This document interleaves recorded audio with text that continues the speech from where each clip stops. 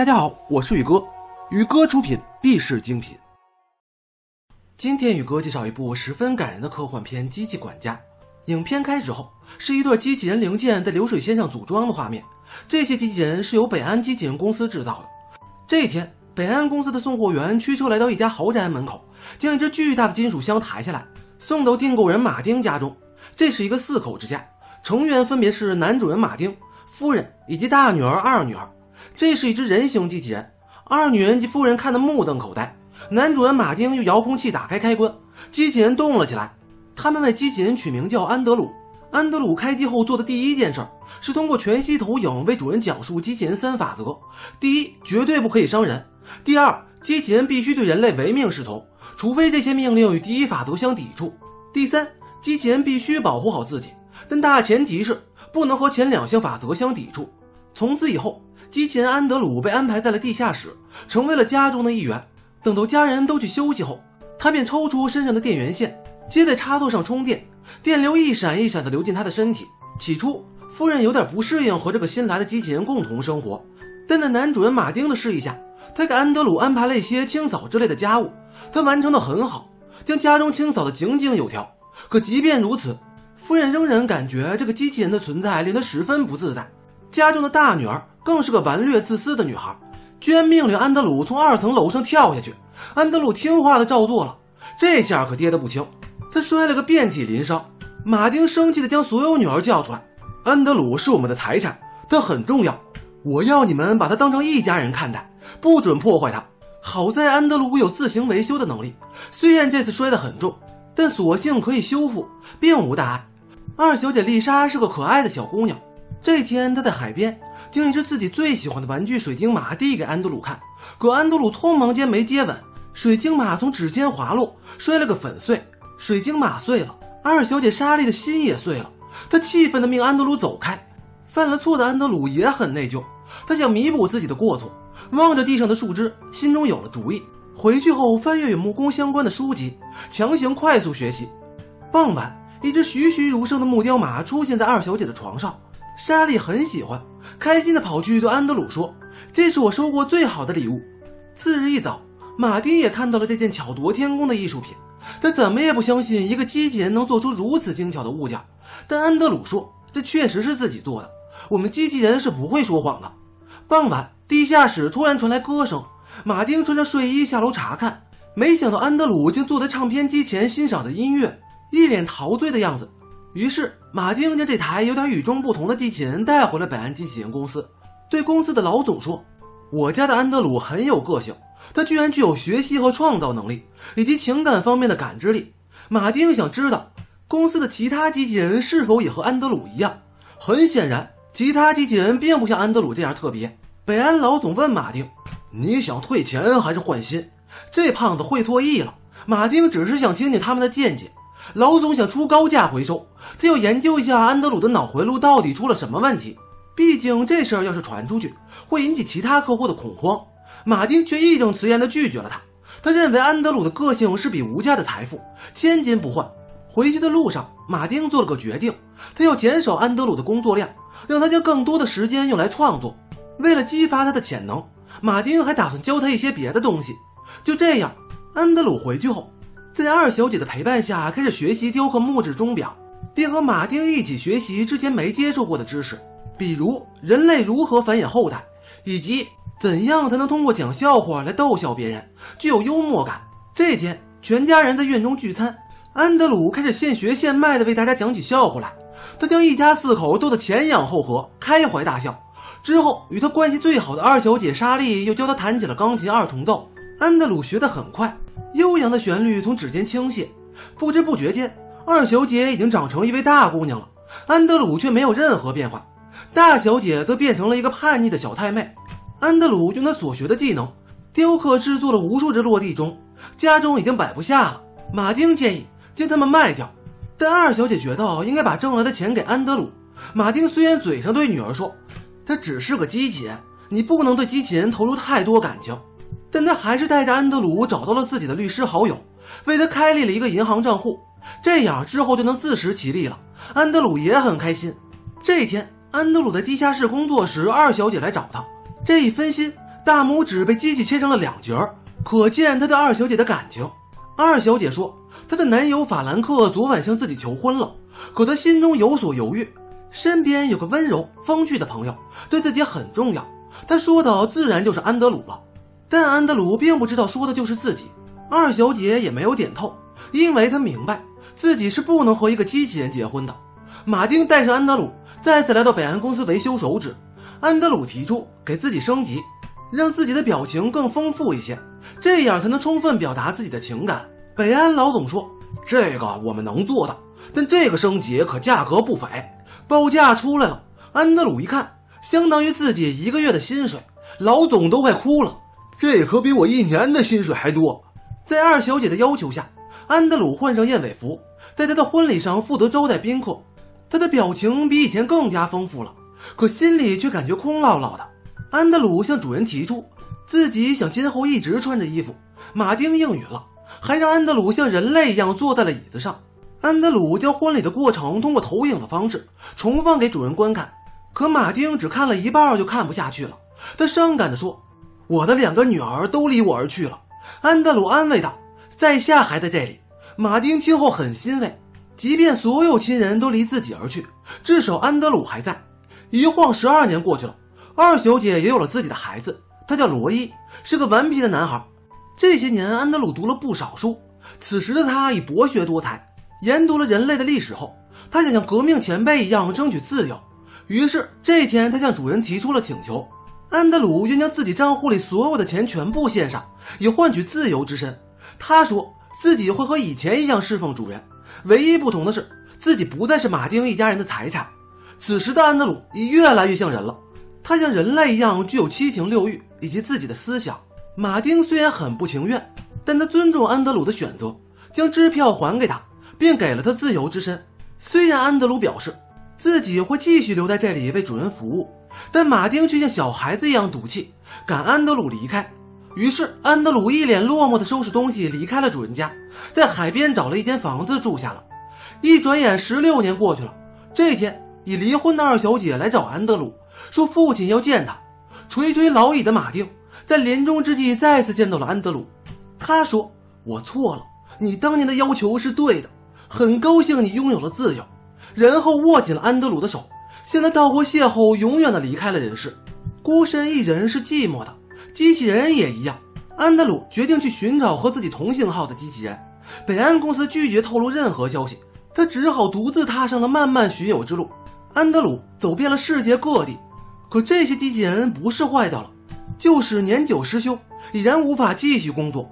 安德鲁足足找了十年都没寻到自己的同类，直到有天，他听说旧金山还有一个最近刚刚被整修过的同款机器人。安德鲁不远万里赶到了这儿，果然在这儿发现了一只性格活泼的女款机器人。他喜好音乐，随着旋律有节奏的在街上跳舞。安德鲁悄悄跟着他来到了一间研究所，敲开门后。这只女机器人接待了他，她叫提亚。安德鲁本以为终于找到了与自己同样具有思想的机器人，可询问后才得知，提亚只是开启了个性晶片，并没有思维能力。这时，巴恩斯教授出来了，北安公司的机器人就是他父亲发明的。父亲被解雇后病逝了，他将这项研究继续搞了下去。此时的巴恩斯也可以惟妙惟肖地复制出人类的外观了。可人们十分惧怕这种极其真实的机器人有朝一日会取代自己，所以他得不到支持。但在安德鲁的资助下，这项研究终于可以继续下去了。于是，在巴恩斯的帮助下，安德鲁再次升级。经过一段时间的改造，他有了和人类几乎一般无二的外貌，已经可以以假乱真了。升过级后的安德鲁上门来找二小姐，把正在弹琴的二小姐吓坏了。可他根本就不认识眼前这个人，也不知道谁是安德鲁。原来。她是二小姐的外孙女波夏，真正的二小姐已是位老人，岁月在她脸上留下了沧桑的痕迹。此时的安德鲁极度渴望能得到家庭的温暖，于是他开始没事儿就来找波夏聊天，用自己的小笑话逗妹子开心。没过多久，二小姐因中风病危，住进了医院。安德鲁握起二小姐的右手，莎莉的左手手中死死地攥着那匹他雕刻的木马。原来二小姐一直将其当做护身符一样留在自己身边。他俩彼此温柔的对视，什么都没说。莎莉缓缓地闭上双眼，她走了，泪水从波夏的眼中簌簌滑落。安德鲁痛苦万分，你能哭，我却不能，这实在太残酷了。我心里好痛，却无法表达。是不是每一个我关心的人类都会死去？恐怕是的。波西亚答道。安德鲁无法接受这种情况，在研读了很多医学书籍后，用他的创造性思维画出了所有人体器官的图纸。巴恩斯通过这些图纸与机械结合，制成了人工器官。安德鲁甚至将人类的中枢神经系统都设计好了，它可以大大强化机器人对周遭事物的感觉，加装后对不同事物的感觉以及情绪都会和之前完全不同。不但能体会到美好，也能体会到痛苦。这是一把双刃剑。之后的日子里，安德鲁如往常一样，经常来到波夏，两人一起聊天、下棋，在宴会中肩并肩、手牵手翩翩起舞。安德鲁努力让波夏开心。波夏也对安德鲁的幽默风趣毫无抵抗力，可喜欢归喜欢，他却仍将安德鲁当机器人看待，不敢付出自己的感情。人工器官全部完成了，于是，在巴恩斯的帮助下，安德鲁再次毫不犹豫地升级了。他由机器人彻底地转型为了生物，再次回到波夏身边，有了中枢神经系统。安德鲁如愿以偿地感受到了疼痛，还第一次体验到了接吻的美妙感觉。但波夏告诉他，自己即将结婚了。安德鲁听后礼貌地表示恭喜，波夏有点生气了。你如果想成功的话，就不能表现得这么谦让。你可以去冒险，去犯错，去倾听自己的心声。安德鲁与巴恩斯一起偷偷来到波夏的订婚宴会，见到波夏的尖下巴准新郎后，安德鲁醋意大发。此时的他也有了嫉妒的情感。巴恩斯对失落的安德鲁说：“我还可以给你继续升级，将你改造成一个百分之百的人类，有味觉，能吃东西。”还能与人类发生性关系，享受到性快感。于是安德鲁再度升级后找到波夏，晓之以情，动之以理的劝他别嫁给那个尖下巴的查尔斯。之后他俩再次吻在了一起。他与波夏第一次在床上体会到了鱼水之欢。有了味觉的安德鲁胃口大开，一连吃下了四盘美味佳肴。这时波夏又提出了一个问题：如果咱俩在一起的话，世人是不会接受的。安德鲁也明白自己不是人类。但他是不会妥协的。他希望法官能通过一项法案，承认自己是人类，这样他才能有与波夏结婚的权利。法官却不以为然，认为安德鲁是人工生命。安德鲁听后据理力争：“你们很多人体内的人造装置还是我发明的呢，所以从某种意义上来说，你们不也是人工生命吗？我虽是人工生命，但我的心却和人类一样。”可法官最终还是认定，由于安德鲁可以长生不老。所以，他并不能称之为人类。这项法案被驳回了。安德鲁听到这个消息后，沮丧地离开了。数年以后，波夏也渐渐老去，他已七十五岁高龄了。他虽与安德鲁生活在一起，却得不到世人的认同。波夏说自己不想吃他发明的 DNA 仙丹，也不会更换自己的器官。他不想违背自然法则长生不老，只想自然的死去。安德鲁听后很伤心，可是没有你，我活不下去。于是安德鲁做了最后一个决定，找巴恩斯帮自己换成了人类的血液，他的生命也有了界限，不再长生不老，他的身体已和人类一般无二。几十年过后，白发苍苍、皱纹满面的安德鲁再次来到法庭，要求法官承认自己人类的身份。身为机器人，原本可以长生不老，但他却安排了自己的死亡。他宁愿身为人类而死，也不愿身为机器人永生。面对法官的疑问，安德鲁说。我不要名声，不求认可，只要你们承认我身为人类的本质，仅此而已。这是我活下去的唯一动力。不管我是生是死，都要保留我的尊严。面对眼前这位迟暮的老人，法官犹豫了。他需要与陪审团商议之后我才能做出判决。终于到了判决的这天，病床上的这对伉俪手牵手，等待着最后的判决。法官最终宣布。承认即将年满二百岁的安德鲁为有史以来最长寿的人类，这也意味着他与波夏的婚姻是有效的。可安德鲁已听不到这个判决了，他已永远的闭上了双眼。但这并不重要，波夏会给他带去这个消息的。护士提亚帮波夏拔掉了维持生命的插头，他俩可以在天堂见面，延续两人的爱情了。这是一部披着科幻外衣的爱情片，它幽默而又不失温馨。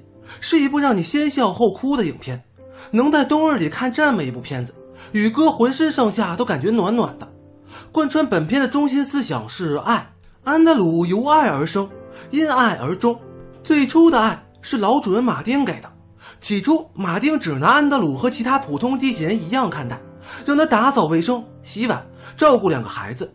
直到有天，他发现这个机器人有点特殊，他居然有和人类一样的情感。当他知道自己做错事后，会努力尝试弥补。打碎水晶马后，居然自己学会了制作木雕，还与二小姐成为了好朋友。马丁是安德鲁的主人，却更像他的父亲。他看到了安德鲁的潜质，拒绝了北安老总的开价回购，悉心培养，还给安德鲁开立了银行账户，与他建立了深厚的感情。人从不会停滞不前，他们总是会成长的。再好的父女关系，女儿终会有长大、出嫁的那天。婚礼那天，马丁的心中很矛盾，他既为女儿找到归宿而开心，又为女儿的离去而伤心。好在安德鲁那句“在下还在这里”，令他感到由衷的欣慰。是啊，机器人是永远不会老去的。就算女儿出嫁，爱人病逝，至少安德鲁会永远留在自己身边。更重要的是，这并不是一个冷冰冰、只会执行命令、完成任务的机器，他有自己的思想。他俩之间是有感情的，这种情感最为珍贵。可马丁没意识到的是，这东西是把双刃剑。安德鲁既然有思维与感情，就意味着他除了身体。和人类在其他方面的区别已不大了。他渴望自由与独立。当安德鲁提出想要自由时，马丁心中再次矛盾起来。但他最后还是尊重了安德鲁的选择。这一切都源自于爱。此时他俩已脱离主仆关系，虽不是家人，却更似家人。安德鲁虽然很爱二小姐，在要她出嫁时，安德鲁却没有阻拦自己所爱之人。他的迟钝令自己与幸福失之交臂。主人的离世。令安德鲁体会到了孤独，他想找到同他一样具有独立思想的同类。可走遍世界各地的他，最终发现自己是独一无二的，知音难觅。但好在他遇到了巴恩斯，既然找不到同类互相扶持，共度余生，那只要把自己改造的像人一样，二小姐就能接纳自己了吧？于是她开始了一次又一次的升级，一次比一次更像人，即便每次都会伴随着疼痛。但为了能寻到属于自己的那份爱，这一切就都是值得的。可二小姐没等到她进化完成，便离开了人世。好在还有她的外孙女波夏，在她将自己的身体完全改造成人造器官后，波夏接纳了她。即使世人不承认安德鲁是人类又怎样？不就是一张结婚证吗？波夏与安德鲁勇敢的在一起了。安德鲁以为此时的自己身心都已经进化为人类，并自以为是的以为。所有人毕生都在追求像机器人一样的永恒生命，于是他为自己也为人类制造了人造器官以及延长寿命的 DNA 仙丹。可波夏再次为安德鲁上了一课：生命正因为它的有限，才如此美好，人类才会珍惜过好每一天。安德鲁明白，没有了波夏的自己是活不下去的，于是他为自己做了最后一次升级，给自己的生命也设定了界限。有点讽刺的是。常人皆想和机器人一样长生不老，机器人却想将自己改造成一个可以死亡的人。这一切还是源自于爱。马丁教会了安德鲁什么是爱，便将自己的爱传递给安德鲁。安德鲁又将其投射到二小姐及波夏的身上。现在，影片又将这份爱传递给所有观众。爱可以让我们勇往直前，克服重重险阻，战胜一切困难。只要有爱，即便在三九寒冬。你也会感到暖意十足。就让这部电影伴随着宇哥的讲述，在这寒冷的冬日温暖你们。也希望大家将这份爱分享，传递给你身边所有需要帮助的人。宇哥给大家隆重介绍一家有正品代理资格的店铺，这是一家五年老店，有十六个品牌的正品折扣价格，有些商品低至官网价格的五折。其中耳熟能详的品牌有德国品牌日默瓦旅行箱，机场装逼必备装备。瑞典品牌丹尼尔惠灵顿手表，干净轻薄，情侣表的不二之选。韩国潮牌 Gentle Monster，明星人手必备，小脸的秘诀。英国设计师品牌 Self Portrait，价格清新，最近女明星和名媛的小秘密。有意向的朋友可以加店主微信详细咨询沟通。喜欢玉哥的视频，请订阅关注，获取第一时间更新。对了，还有别忘记转发哟。